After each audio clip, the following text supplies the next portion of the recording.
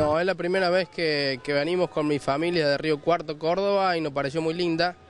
El tiempo acompaña porque está nublado, está lindo para pasear. Somos de Benavides y está hermoso, la verdad que las plantas dentro, los bonsai, no, impresionante. No es la primera vez que vengo a la fiesta de la flor porque vivo en Escobar y acá a unas cuadras, así que bueno, me gusta, trato siempre de venir.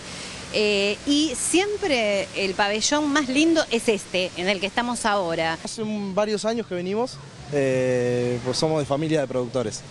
Eh, y este año está bastante linda, mucha más cantidad de flores, está mucho más linda armada me parece, por el tema del aniversario.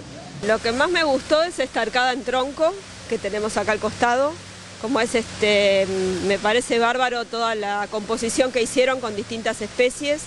Hay helechos, hay todas especies diferentes. Y acá, el, bueno, el tema de la época, porque en esta época tenés, por ejemplo, el tema de las azaleas, que está, es lo que más está en flor ahora. Esta es la mejor época en realidad para, para hacer la fiesta, porque es cuando más cantidad de flores tenés floreciendo. Me encantó, me encantan las flores, cómo arreglan los pabellones, las plantas que hay, las azaleas, las yerberas, no sé, un montón de flores me gustan. Y las plantas de interior sobre todo también. Las cascadas que armaron, este, cómo prepararon los arreglos florales, todos los colores, la variedad de colores que hay dentro de los pabellones, y es lo que para mí es lo más lindo.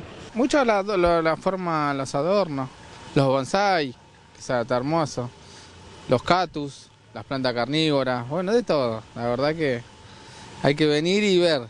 Ojalá, digamos, a todo el mundo le gustara. Sé que vienen muchas excursiones, que hacen muchas excursiones de capital, que vienen de otras localidades, eh, pero la verdad que está muy lindo. Este, es muy natural, el que le gusta la naturaleza y sobre todo las flores es especial.